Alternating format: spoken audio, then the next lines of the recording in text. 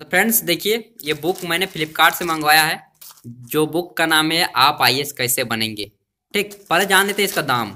इसका दाम है दो सौ सत्तर लिया है, जो कि यहाँ पे दिखाया गया है दो सौ पचास रुपये। ठीक, ये देखिए, दो सौ पचास रुपये, लेकिन इसमें दो सौ चालीस रुपये मुझे लगे और डिलीवरी चार्जेस बाकी लगे ठीक तो इस बुक को क्यों पढ़ना चाहिए और किसके द्वारा लिखा गया है? यह बुक डॉक्टर विजय अग्रवाल जी के द्वारा लिखा गया है, जो कि उन्नीस ईस्वी में खुद एक आई ऑफिसर बने थे, ठीक? हिंदी मीडियम से। कितने भी लोग भारत के, यानी कि ऑल इंडिया ओवर से कितने भी लोग आई की तैयारी करना चाहते हैं, यानी कि Indian civil service I S I P S I C S I F S जितने भी हैं, ठीक ना? ट्वेंटी फोर सर्विस होते हैं, चौबीस सेवाएँ। अगर आप चौबीस सेवा में से किसी एक को भी चाहते हैं भारतीय सिविल सेवा में ज्वाइन होना चाहते हैं तो प्लीज़ एक बार इस बुक को पढ़ लीजिएगा। और ख़ास तौर पे हिंदी मीडियम वालों के लिए। वैसे तो हिंदी और इंग्लिश दोनों बुक में है, ठीक? हिंदी वालों के लिए ब्लू में है और इंग्लिश वालों के लिए रेड कलर का आता है, ठीक?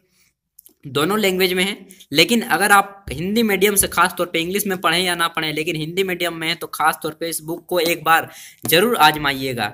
आपकी जितने भी चाह है ना, वो यह बुक आपको दिखाएगी। डॉक्टर विजय अग्रवाल खुद एक आई ऑफिसर थे जो कि उन्नीस ईस्वी में हिंदी मीडियम से सेलेक्ट हुए थे। ठीक, ये है डॉक्टर विजय अग्रवाल जी, देख लीजिए फ़ोटो इनका एक साइट भी है A F A I A S ठीक?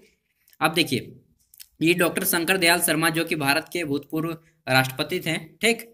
उनके ये जो हैं, उनके साथ काफ़ी वर्षों से रहे, लगभग दस साल उनके साथ रहे और काफ़ी देशों की यात्राएँ की बहुत से महान विभूतियों के साथ ये घूमे हैं। तो उन सारे चीज़ का एक्सपीरियंस इस बुक में समाहित है। आइए देखते हैं इस बुक देखिए, आप आई कैसे बनेंगे डॉक्टर विजय अग्रवाल जी द्वारा रिलेटेड है। देखिए, यहाँ पे पार्ट क्या दिया है? क्यों किया आई बनने का फैसला? कितना डेंजर बात कही है। प्रतियोगिता परीक्षा के चरित्र को जाने। आखिर क्या ढूंढता है यूपीएससी आप में? फ़ोन नंबर क्या बोलता है? परीक्षा संबंधी कुछ धारणाओं की सच्चाई। परीक्षा में बैठने का रोड मैप क्या होना चाहिए? क्या कोचिंग ज्वाइन करना ज़रूरी है? बहुत से लोगों को डाउट होता है, क्या कोचिंग करना ज्वाइनिंग करना ज़रूरी होता है? ठीक ना? बुक को आगे देखिए। क्या कोचिंग ज्वाइन करना ज़रूरी है? सिविल सर्विस की कुछ ज़रूरी बातें। ऑप्शनल पेपर का चयन कैसे करें? इसमें भी बहुत लोग डाउट होता है कि ऑप्शनल सब्जेक्ट क्या चुने। आईएएस की पढ़ाई तरीके, ठीक ना? आईएएस की पढ़ाई का तरीका क्या होना चाहिए? किसी भी जो घर में पढ़ते थे, वही तरीका अपनाएँगे या फिर कुछ दूसरा? अखबारों से कैसे निपटे? बहुत से लोग हिंदू को लेकर कंफ्यूज रहते हैं कि हिंदी में क्या पढ़ें, ठीक ना? तो अखबारों से कैसे निपटना है? क्या पढ़ना है? क्या छोड़ना है? आरंभिक परीक्षा की तैयारी प्रिलियम्स मेंस सारा का सारा कुछ निचोड़ दिया है और अंत में आईएएस परीक्षा की तैयारी के फ़ायदे क्या है? इंटरव्यू कैसे निपटाना है? ठीक ना? सारा कुछ दे दिया है। यह बुक अपने आप में एक चलता फिरता मास्टर है। ठीक ना?